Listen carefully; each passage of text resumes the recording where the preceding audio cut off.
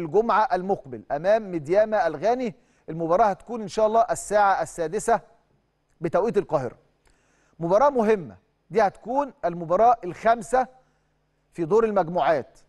النادي الأهلي دلوقتي ترتيب المجموعة الأهلي متصدر بست نقاط. خمس نقاط شباب بوليزداد يانج أفريكانز ومدياما في المركز الأخير بأربع نقاط. لكن المسافة قريبة ما بين كل الفرق. المسافة قريبة ما بين كل الفرق. علشان ده لازم لعيبة النادي الأهلي المباراة القادمة اللي بدأ الأهلي فعلا يستعد ليها من بعد انتهاء مباراة شباب بلوزداد بدأ التحضير والاستعداد للمباراة المهمة أمام مدياما الغاني النهارده الكابتن خالد بيبو كابتن سمير عدلي النهارده سافروا على غانا عشان التحضيرات والترتيبات علشان بعثة النادي الأهلي اللي هتغادر بكرة إن شاء الله بسلامة الله إلى غانا بطيارة خاصة زي إحنا متعودين دايما سبل الراحة متوفرة وموجودة للفريق الأول بالنادي الأهلي. دكتور مهند مجدي أيضا هيكون رئيسا لبعثة النادي الأهلي اللي هتغادر بكرة زي ما قلت لحضراتكم بسلامة الله إلى غانا. كابتن خالد بيبو والكابتن سمير عدلي التحضير بدأ من النهارده. شوفوا هناك فندق الإقامة ملاعب التدريب ملعب المباريات كل ما يحتاجه بعثة النادي الأهلي علشان الناس تروح تلاقي كل الأمور متظبطة. هو ده الشغل وهي دي خل... الخلية اللي شغالة دايما. علشان المباراة مهمة. نروح للمباراة فنيا زي ما قلت لحضراتكم إن كل الفرق الأمور متساوية. كل الفرق لها حظوظ. ده بقول الكلام ده علشان لعيبة النادي الأهلي. الناس اللي قالت بعد شباب بلوزداد وتعادل النادي الأهلي. آه المباراة ما كانتش عالية فنيا. مباراة بعد غياب بعد فترة بعد ما يقرب من حوالي 40 يوم أو 50 يوم.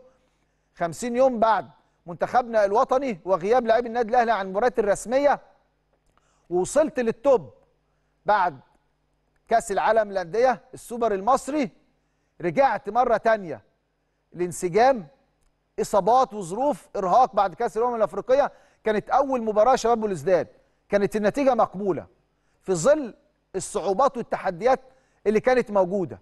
لكن المباراة اللي جاية مباراة مهمة جدا. زي ما بيقولوا مش عايز أستنى المباراة الأخيرة. المباراة الأخيرة هتكون يانج افريكانز عندي على ملعبي. لكن مش عايز أستنى للفرصة الأخيرة. عايز إن شاء الله بأمر الله بلاعبي النادي الأهلي إن إحنا نقدر نحسم الأمور من المباراة المقبلة. ونريح الدنيا بعد كده. مش عايزين نلعب وإحنا في الجولة الأخيرة وإحنا مضغوطين أو تحت أي ضغط. لعيبة النادي الأهلي الحمد لله وسام أبو علي شارك في التدريبات اليوم. امبارح كان في إصابة لاسامه أبو علي.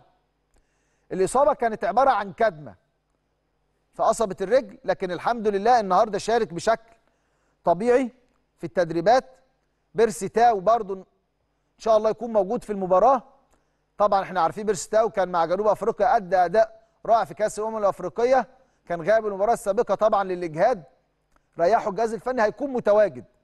فعودة أسامة أبو علي عودة بيرسي تاو أحمد نبيل كوكا في لعيبة موجودة لعيبة مهمة.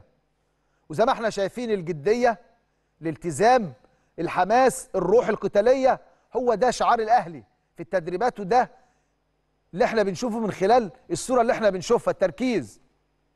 وده وصل للعيبة.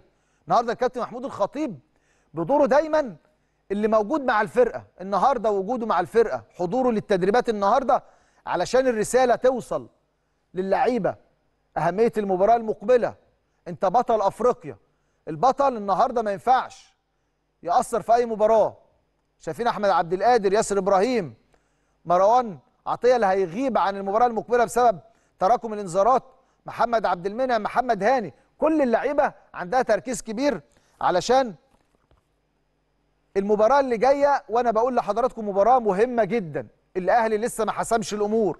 الأهلي محتاج تركيز اللعيبة محتاج تركيز الجهاز الفني علشان إن شاء الله نقدر نحسم الأمور إن شاء الله في المباراة المقبلة. حكام المباراة أو طاقم التحكيم هيكون من الجابون. نتمنى ليهم التوفيق خلال المباراة المهمة.